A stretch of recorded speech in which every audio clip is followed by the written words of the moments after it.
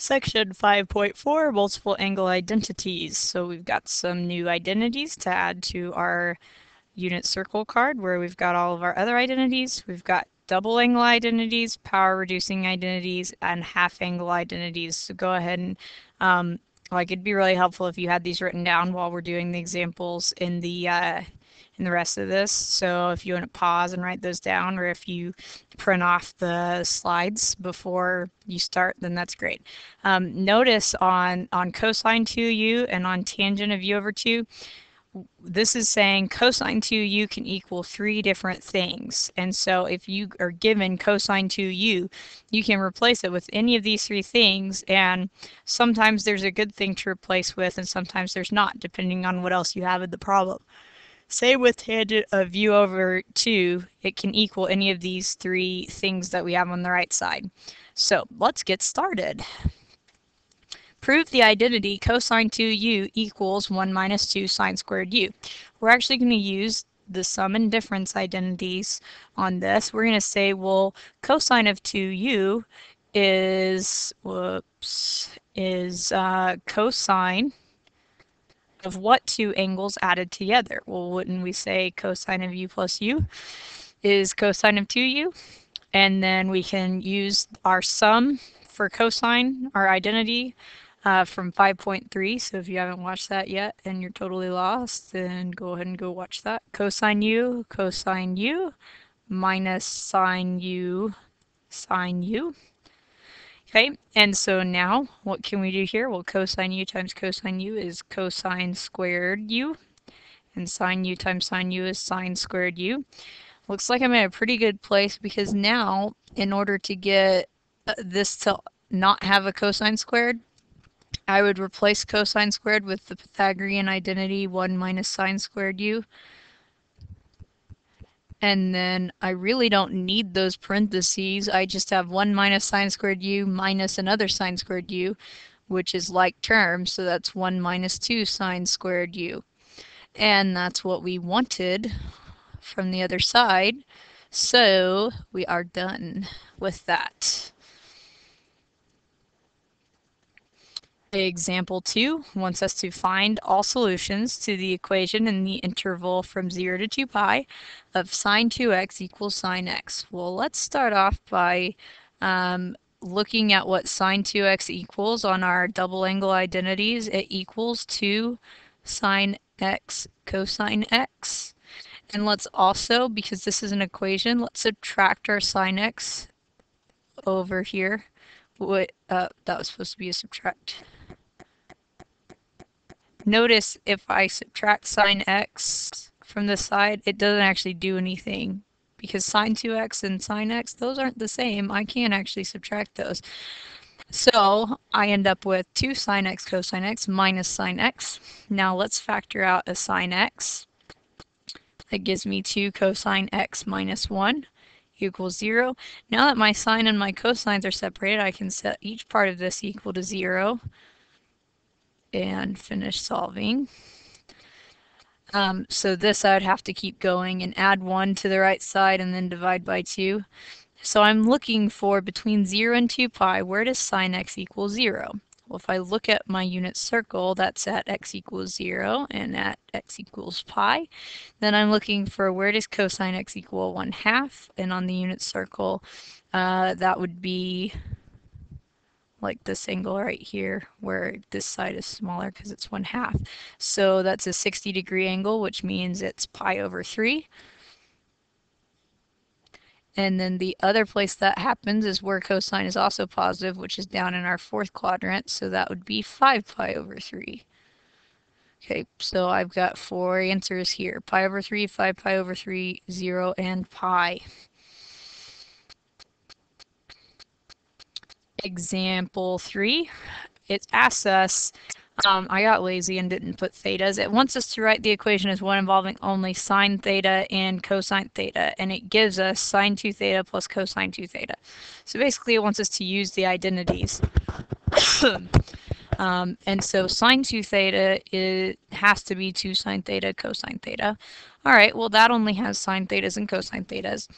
Then uh, we could really do like three different things. We could say that cosine 2 theta is cosine squared theta minus sine squared theta.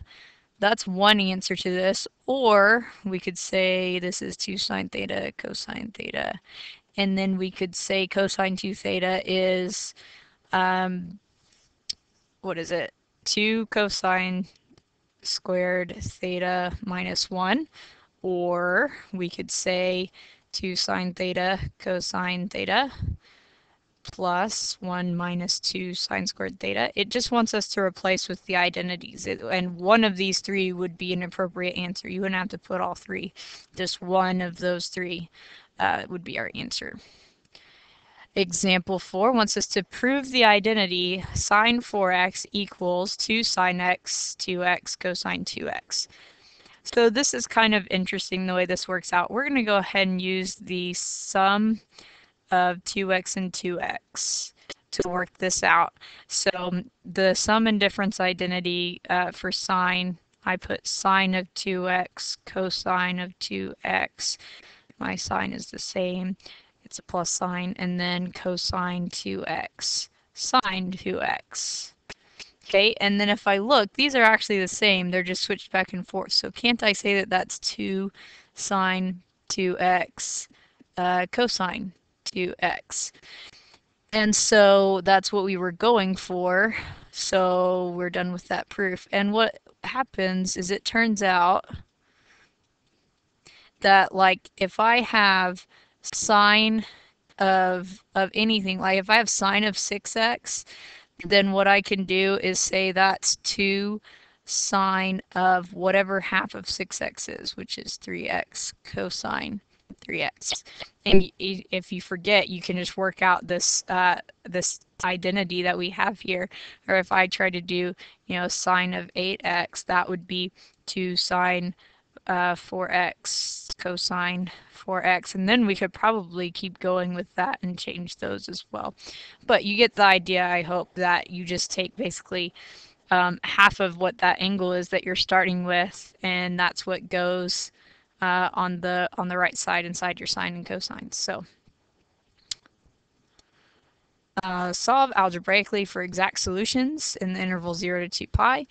We have cosine of 2x plus sine of x. So on a problem like this, I, I'm pretty sure that I want to get rid of this because this is a sine x that I can't really, I can't do anything with that. So it'd be really nice if instead of cosine 2x, I had something involving sine. Well, there are three choices for cosine 2x. What if I pick on purpose to put in the one that just has sine? Uh, so that would be the one that has 1 minus 2 sine squared x. Cosine 2x equals 1 minus 2 sine squared x. I picked that one because it's it's the only one that just has has sine. Okay, because any of the other ones would have given me a cosine, in fact a cosine squared, that I wouldn't be able to really do anything with. Now if we look at this, this is negative 2 sine squared x plus sine x plus 1 equals 0. I can actually divide all of this by a negative 1 to get rid of that negative if I want to, because personally, for me, that makes factoring easier. And then let's think of this as though it was 2x squared minus x minus 1. The way we would factor that, I would use something called slide and divide, where you slide the 2 over here and get x squared minus x minus 2 you factor this into two parentheses so that we have x and x. We say what multiplies to get negative 2, that adds to get negative 1. That's negative 2 and plus 1.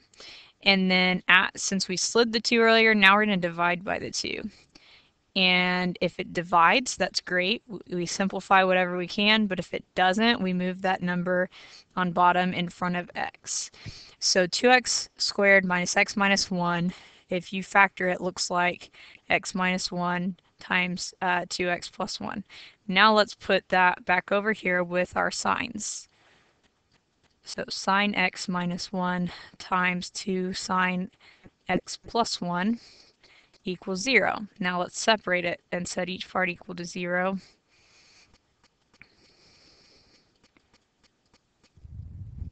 So this is sine x equals 1 because uh, I add 1 to both sides. This one I would subtract 1 and then divide by 2, giving me negative 1 half.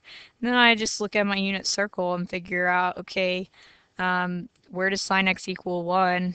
That's at pi over 2. It's not anywhere else because if it's at the bottom, it's negative 1, not positive 1.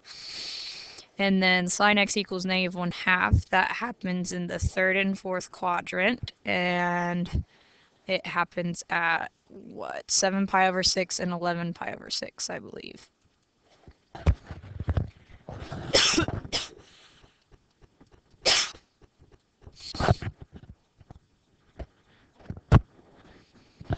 So only actually three answers on this one. Because it's between 0 and 2 pi so uh, this next section is going to say use half angle identities to find an exact value without a calculator. So uh, cosine of 75 degrees, the way this works is I want to uh, write this with the identity in mind that this would be uh, 150 degrees over 2.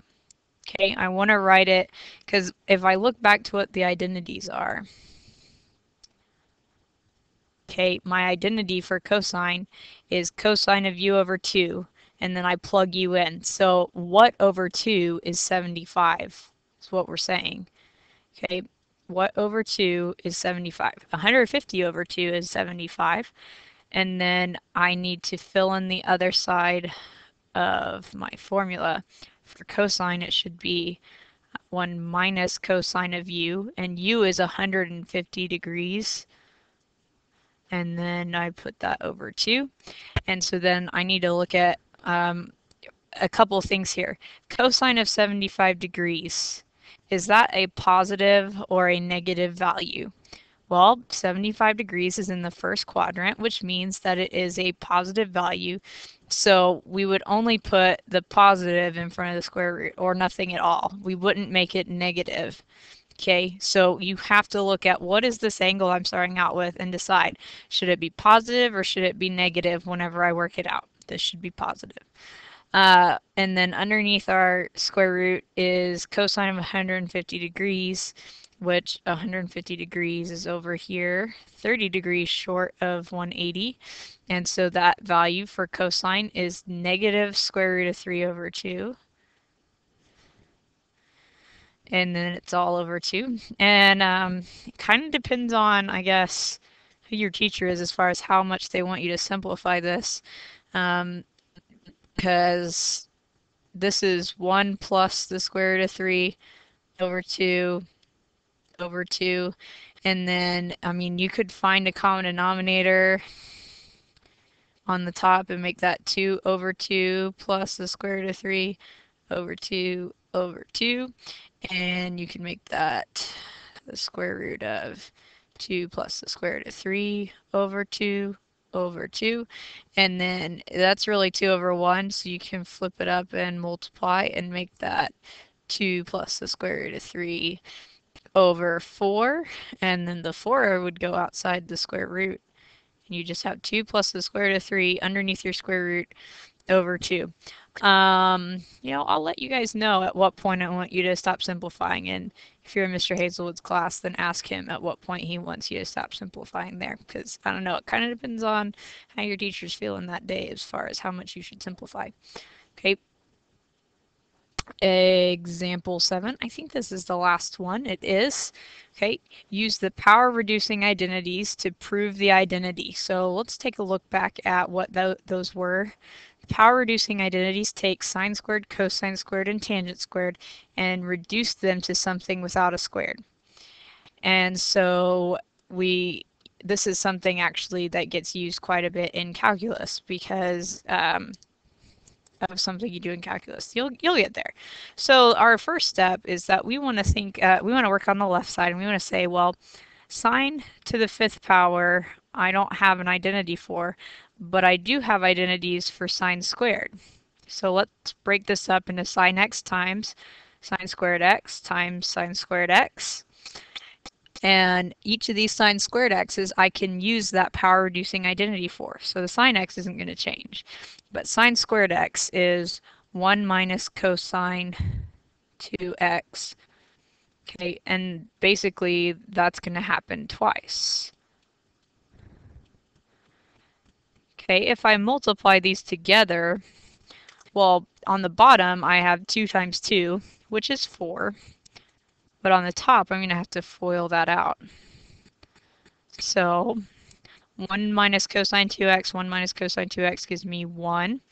My outer and inner terms add together to be minus 2 cosine 2x. And my last terms, negative cosine 2x times negative cosine 2x gives me plus cosine squared 2x.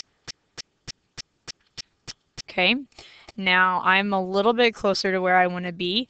I can go ahead and move out this 4 on the bottom and say this is 1 fourth sine x on the outside, and then that's going to get rid of my fraction on the inside.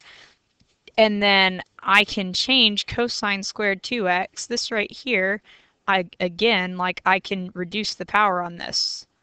Okay, and so what that gives me if I reduce the power on that um, is inside my parentheses here. I'm not changing 1 minus 2 cosine 2x. I'm changing cosine squared 2x. Let's think about that. That's cosine 2x squared.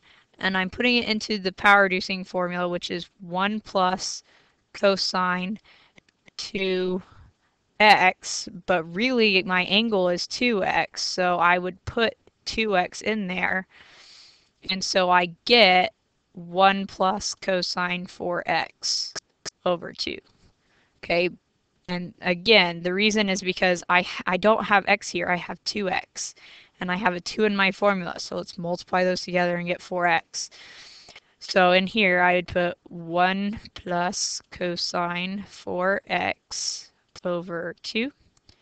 Okay, now let's look back at our identity um, basically we have a 1 fourth here and they have a 1 eighth. We have a fraction on the inside of this and they don't. So let's get common denominators on the inside of our parentheses here. Uh, this would be 1 fourth sine x still. This would be, I want a 2 on the bottom, so it would be 2 over 2. I want a 2 on the bottom of this, so that would be 4 cosine 2x over 2. And then these aren't going to change because it already has a 2 on the bottom of those. So I could have combined a couple steps here actually. I want uh, 2 and 1 to go together, which is 3. Can't do anything with minus 4 cosine 2x or the cosine 4x. Um, and then all over 2 well, I can pull that 2 from the bottom out and make this 1 8 sine x, put parentheses around it for fun so it matches up.